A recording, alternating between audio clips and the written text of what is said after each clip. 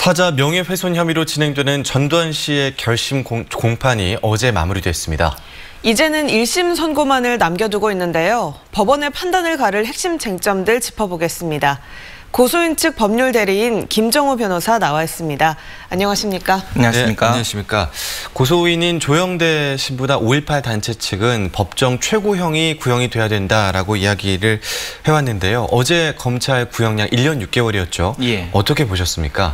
어, 그 형법에서 정한 사자 명예훼손의 최고형은 징역 2년입니다.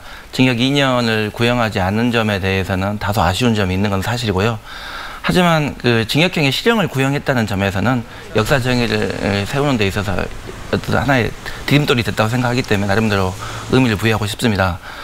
어, 전두환의 이 사건은 개인의 사생활과 관련된 사적 분쟁이 아닙니다.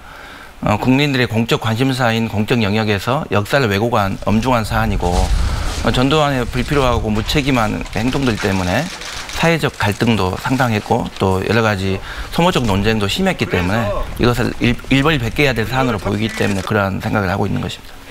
음, 전두환 측의 변호인은 끝까지 무죄를 주장하고 있죠. 양측의 엇갈린 주장 속에서 법원이 판단을 내려야 하는 상황인데 1심 판단의 핵심 쟁점 뭐라고 보십니까?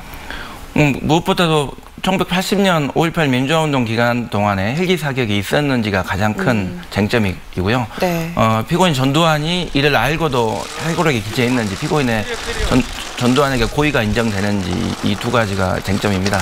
특히 헬기 사격이 있었는지와 관련해서는 어, 1980년 5월 27일에 헬기 사격 그 전일 빌딩에 타는 감정된 그 움직일 수 없는 증거가 있는 그 헬기 사격뿐만 아니라 조비오 신부님이 목격했다고 보는 1980년 5월 21일에 헬기 사격까지 같이 다 이 사건에서 규명되고 있었고 충분히 입증되었다고 생각하고 있습니다.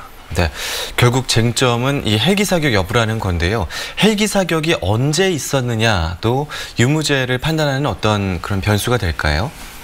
기본적으로 피고인 전두환은 본인의 해고록에서 어, 헬기 사격 그 기간이나 어떤 내용을 전혀 특정하지 아니하고 1980년 5.18 민주화운동 기간 동안에 단 한 발의 헬기 사격도 없다라고 강변하면서 헬기 사격을 목격했다고 하는 모든 사람들, 조비오 신분을 포함한 사람들 악의적 거짓말쟁이, 파렴치한 거짓말쟁이 이렇게 비난하고 있는 것입니다. 그래서 항전 기간에 헬기 사격이 있다는 사실만 입증되면 그 충분하다고 생각하고 있습니다. 그럼에도 불구하고 어, 전두환 측 가사 전두환 측의 논리를 다 양보해서 수용한다 하더라도 5월 27일이든 5월 21일이든 그 그와 관련된 증거들은 차고 넘치기 때문에 충분히 유죄로 인정하는 데는 부족함이 없다 이렇게 생각하고 있습니다. 네, 변호사님께서는 전두환 회고록이 나온 이후에 민사소송 그리고 형사소송 3년 넘게 맡아주고 계시잖아요. 예. 그 과정에서 어려움도 있었을 것 같은데 네, 간략하게 이야기를 해주시죠. 지금 어차피 피고인 전두환이 우리나라의 대통령까지 역임했던 사람이기 때문에 최고 권력자의 지위에 있었거나 그와 어,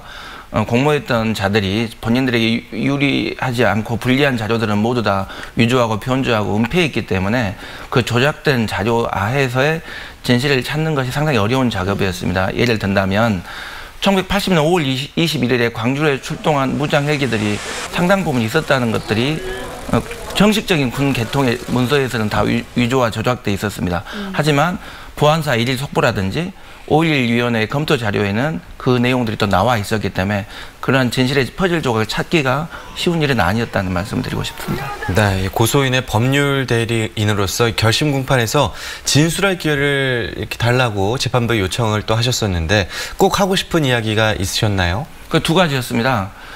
어, 가해자하고 피해자가 뒤바뀐 법정 풍경이 보였기 때문에 아니, 죄를 지었는 전두환은 가해자로서 법정에 불출석 허가를 받고 나오지 않고 오히려 피해자들이 또 침묵을 강요받으면서 사법적 단죄만을 바라고 있는 풍경이 되게 안타깝다는 생각이 들었고요. 다만 전두환이 끝까지 변명하고 우겨줬기 때문에 진실을 더 마주할 수 있는 기회가 생겼다는 음. 또 아이러니한 상황도 있었습니다. 어, 프랑스 국방부가 진실을 조작했다고 평가받는 드레피스 사건에서 에밀 졸라는 진실을 어, 땅에 가두고 아무리 매장해도 진실은 거대한 초목으로 드러난다고 했는데 네. 피고인이 전두환이 기소된 이 사건 법정에서도 재판장님을 통해서 이러한 진실들이 현실 법정에서 구현되길 간절히 바라는 마음입니다. 네, 지금까지 김정호 변호사와 함께 전두환 재판 관련 사항들 함께 짚어봤습니다. 오늘 말씀 고맙습니다. 고맙습니다. 고맙습니다.